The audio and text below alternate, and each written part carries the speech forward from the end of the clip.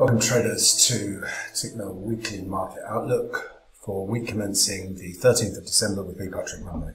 Starting in the US, the focus is really going to be on Wednesday, where we get US retail sales. Uh, the market median sees a rise of 0.8% after the 1.7% increase in October. Sales surged as uh, consumers started holiday shopping early. High inflation is not yet dampening spending, even as we start, are starting to see signs of consumer sentiment weakening. And most importantly, on Wednesday, we get the FOMC meeting, and let's expect the tapering price to be doubled, which would end bond buying in March instead of mid-2022. This has already been signaled by Fed members, so the focus is really going to be on the revisions to the dot plots and the terminal rate.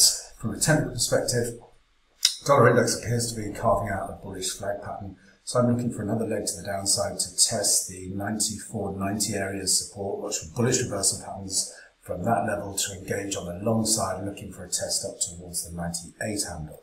At this stage, a close back through uh, 96.70 would suggest that the correction is already complete and then puts the immediate focus on the 98 handle.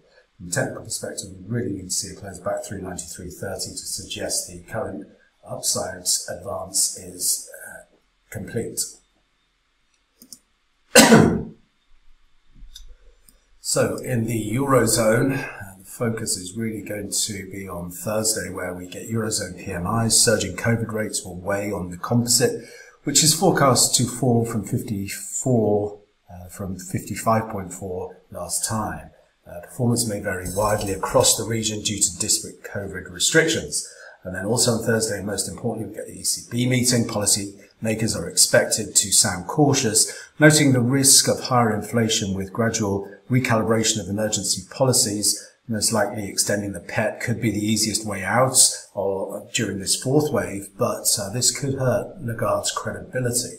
Then we round out the week in the Eurozone with Friday's Ifo business survey, where economists expect a 95.5 print versus the prior 96.5. Sentiment fell for the fifth straight month in November. Rising COVID cases and new restrictions will weigh on morale and supply bottlenecks still remain in place. From a technical perspective, in terms of the euro dollar, looking for this corrected move to advance now up into the 114.30, 114.50 area, watch for bearish reversal patterns there to engage on the short side, looking for a move down to test that long-term weekly trend line discussed in my live weekly market analysis session just above the 110 handle.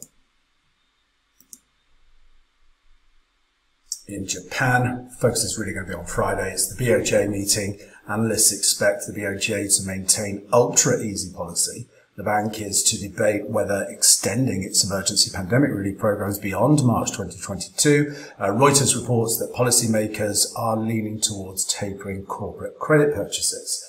From a technical perspective, uh, as resistance remains in place at the 114.30 to 114.50, I'm also looking for a break now of the 112.50 to take us back down into test 111.50 as support so that will be the third test of this major trend line. From there, we can anticipate at least a three-wave corrective bounce. In the UK, uh, Tuesday, we get UK jobs. Uh, consensus expects the unemployment rate to have dipped one tenth to 4.2% in October. Analysts highlight the abundance of vacancies with uh, three straight months of over 1 million prints. And the expiry of the furlough scheme is likely to have uh, lifted wages. On Wednesday, we get the UK CPI. Analysts forecast a jump in headline inflation to 4.8% from 4.2%, and the core rate to 3.9% from 3.4%. The rise in Ofgem's price cap for electricity and gas prices uh, will be the biggest boost, but there will be a broadening of price pressures as higher petrol, food and clothing prices came together last month. Most importantly, then on Thursday, we have the BOE meeting. It's a close call for a 10 basis points hike, with the market seeing around a 40% chance. The latest COVID concerns and the move to Plan B bring uncertainty and may outweigh inflation worries for now. Updated forecasts are not due until February next year. We round out the week in the UK on Friday with UK retail sales Analysts forecast a reading of plus 0.3% following a surge in sales in October after five months of declining volumes. Black Friday activity was uh, reportedly robust, whilst uh, base effects may uh, fold, uh, flatter the annual comparison. From a technical perspective, the uh, cable has been in this descending wedge pattern, potentially getting a break, uh, developing now. If we can follow through on Friday's move to the top side through 132.80s, look for a test of 134. Uh, 10 to 134.20, watch with bearish reversal patterns there to engage on the short side, looking for the equality objective down at 130.12. And rounding out the week, down under in Australia, the only data of note is going to be Thursday's jobless data. Um, expect the pace of workers returning to the labour force to continue to outpace gains in the employment in November.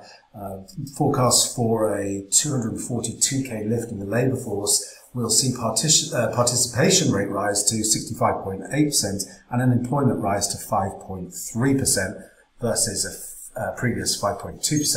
From a technical perspective, as the Australian dollar uh, continues to find support in the 70-80 area, look for a move up to test the prior ascending trend line resistance, uh, sorry, support as resistance. Watch for bearish reversal patterns there to engage on the short side, looking for a move down to test the uh, descending trend channel support coming in at 69.12.